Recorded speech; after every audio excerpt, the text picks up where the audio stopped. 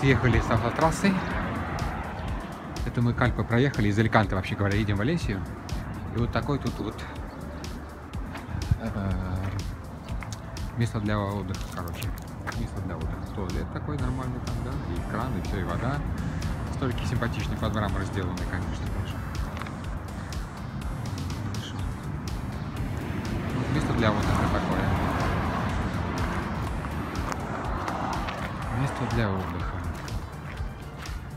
Что-то у нас в первый же час сиденье вот это подвело нас. Приходится сейчас подкладываться, совсем оно не держится. А в остальном пока хорошо. Да, ну и задние, задние передачи не работают.